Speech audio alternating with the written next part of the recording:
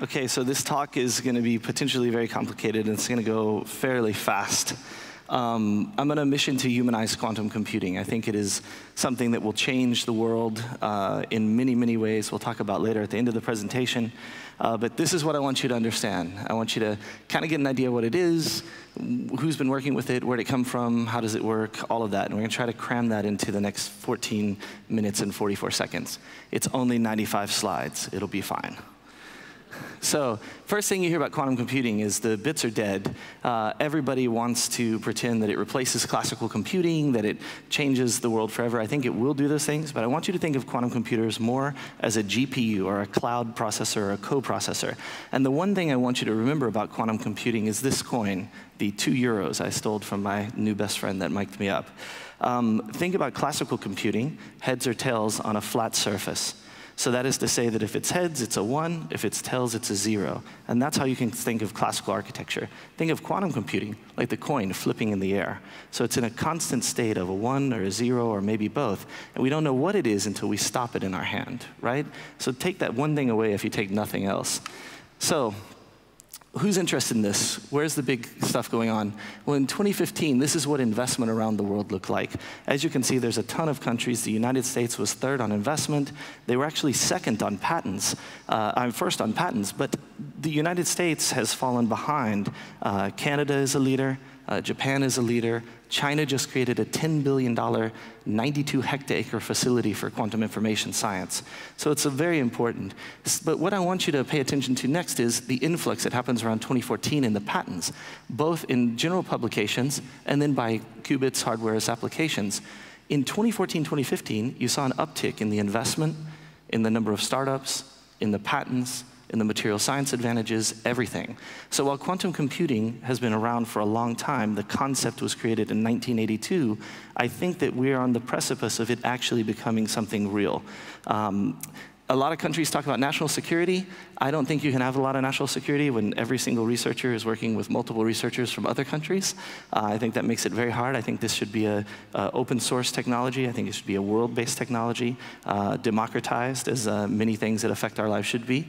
Uh, there's a ton of universities working on this everywhere. Uh, Waterloo University is one of the, the best. Delft, just uh, two days ago, announced that they had made a breakthrough in quantum entanglement. Of course, all of your Yales and Berkeleys and Caltechs. And where I'm from in Austin, Texas and UT actually have two quantum computing classes that they're teaching now. Uh, MIT offers one online, but these are actual courseware in the classroom. So Google, Microsoft, Intel, IBM are all doing things. The company you might not know is D-Wave. They make an adiabatic quantum computing and annealer. Um, they're based in Canada. Uh, startups to watch, uh, IonQ is doing ion trapping as a technology. Uh, 1QBit is a software company. QCware software Control C software. Rigetti also makes hardware. Uh, they're making a uh, quantum machine that works on circuit gate models, much like the IBM machine. Uh, but the third thing I want you to remember is that this, I think, is the space race of this generation. Um, everybody is very big on AI. I'm not an AI hater. I don't think killer robots will get us, and if uh, there are killer robots, I will just wait for the shitty battery technology to make it die, and then I'll tear it apart and make it into something new. Because uh, uh, Boston Dynamics runs on diesel for a reason. But this is very important. There's more money being invested. There's more at risk with encryption threats, with the potential to cure diseases, to do things. It's an incredibly important area. So when did it all start? So quick history of quantum, and it's going to be really quick. So go back to the 1830s with Babbage, skip forward to 26 when Schrodinger derived his wave. 1927, first date I want you to remember, the first Solvay conference, Schrodinger, Heisenberg, and Einstein all getting together talking about quantum theory. From there, there was Schrodinger's cat, a bunch of other advances with Church and Turing. We go all the way to 1982, past annealing, past Shor's algorithm, and then where we end up with is we end up with Oxford's demos, Nishimori, and then Los Alamos. Los Alamos created seven qubits in the year 2000. By 2006, they had achieved 12. D-Wave, which is a different technology, has 128 qubit machine. It's a very important asterisk on there. By 2013, 512. By 2015, 1152. They now have 2048. But here's the important part. In, 19, in uh, last year, Rigetti achieved 19 qubits, IBM achieved 17 at the first of the year, and at the end of the year, they achieved 50 qubits. Google started this year with 72. Microsoft released an entire programming language for quantum computing. So this is obviously something that is coming. Intel had 17, everybody's making a lot of advances. But I want you to think about how a computer works so we can go back to that coin and the difference in these compute systems. We have circuits and modules and gates and transistors. And in the old days, you used to have to be an electrical engineer to program a computer because you had to understand the voltage between the gates. Then you just had to understand the gates, and then nowadays there's software engineers who don't even know there's gates. Right now, you have to be a physicist to program a quantum computer, for the most part. Um, I want to take it to where you just have to know the gates, and then eventually there's an abstraction layer where maybe you can just use it for whatever you're doing. Um, the basis of computing, of course, ones and zeros. If we block a signal, it's a zero. If we let it through, it's a one. Computers are still just giant abacuses. Uh, but they're getting very small. The phones that you have, if they have the Snapdragon processor at 10 nanometers. So that means they have 3 billion transistors in them. And so they're getting so small that some scientists worry that as we get to 7 nanometers, 5 nanometers, 3 nanometers, quantum mechanics will come into effect. We won't be able to block signals. So to give you an idea of a nanometer, the idea I like is if a diameter of a marble was a nanometer, then the Earth would only be one meter. Okay? So it's very, very small. I don't think it's a quantum apocalypse. Uh, but I do think quantum tunneling, which what we just talked about, is important. That means that things are so small that we may try to block a signal and it may just come through anyway. And if that happens, computing as we know it would break down. So what exactly is a quantum computer? Well, it's a Bloch sphere. So it's electron, it's the spin. There's multiple different ways that you can create a quantum computer, but it's basically using quantum mechanics as the basis versus classical uh, bits, ones and zeros. Um, there's some theory I want you to remember. Uh, the state of multiple bits is defined by the state of all the bits in an individual system. But in quantum theory, the whole is greater than the sum of the parts. We get an exponential increase potentially in the compute power as we add qubits. It's not the same as adding a two-bit system and we add two bits. We have two bits and we add one qubit and we get more and more and more compute power because of the multidimensionality of those states. So we have classical theory, everything can be copied. In quantum, only the results can be copied. So we can't take data and move it in that system. We have to be focused on uh, only the results. So it's Schrodinger's cat. We open the box, we know if the cat is dead or alive. Well, with the quantum system, we look at the result, and then we know where we're at. Uh, there's three types of quantum computers for you to think about. Annealers, circuit gate models, and topological computing, which as it says up there is some real black magic shit. Uh, but the annealers are uh, basically like metallurgy. They use a magnetic field to slowly, adiabatically keep the solid state. The circuit gate models work a little bit more like what you're used to in the way classical computer systems work. Uh, and the topological is an area of research Microsoft is the only one working on. And I actually think they have a good chance at getting way ahead of everybody because in a qubit, where we have a data, the big problem with quantum computing is the noise, the fidelity of the system. And so as we add qubits, the noise comes up and we lose them. So you'll see that Rigetti had 19 qubits, then they had eight. You know, maybe the machine has 50, but 46, you know, things kind of drop. The noise in the system is an incredible problem. With topological quantum computers, we have a topological qubit that can have multiple copies of the data, meaning that the fidelity of the system, in theory, should be very, very high. Um, quantum superposition, you know, quantum tunneling, one thing to think about. Quantum superposition, we've talked about something else to, to know. Quantum entanglement is interesting. It basically means that when we measure a bit, even over a long distance, uh, we cannot measure the other bits without them being the same. They're entangled. Um, there's been a lot of advancements in communications in this area, which are very exciting. So new encrypted networks, a new internet, if you will, that is very, very encrypted. Um, China launched a satellite last year uh, and did the first real uh, communication. So it's a very exciting part of this. Um, if you look inside a quantum computer, they all look like a big chamber, and inside they look like a giant chandelier. But here's what I want you to pay attention to. Only at the bottom, very bottom, is the real quantum computer. The rest of that mechanism is all for cooling these particles down to 5 millikelvin, negative 15 millikelvin, colder than the reaches of space. Um, and then at the bottom is just the chip. So a lot of people talk about quantum supremacy. I understand the term, but I'm not a big fan of it because it gives the impression to people who aren't in the industry that the quantum computer will somehow replace a classical computer. Uh, we need the classical computer to control all of the data in and out, to control the cryogenics, to basically do everything in the system. Uh, we take it from the classical computer, send it in, and then we send it back again. So let's look at a calculation. Um, how many people know a Fourier transform? It's an easy way to pick all the physicists and mathematicians out in the audience. None of you can ask a question. That's a joke. Um, so if you think about it, what would that be good for? Well, perhaps breaking encryption, right? Perhaps breaking the RSA. And if you look at Shor's algorithm, the thing that people don't understand often is that four of the five steps you need to run Shor's algorithm have fast classical solvers. There would be no advantage, no quantum advantage in any of the steps except for one. And so that step is, you know, we're going to make sure it's an odd number. We're going to check its a factor of two primes. We're going to check the random number. And then when we get to this step, the order finding, this is where the non-deterministic quantum magic comes in.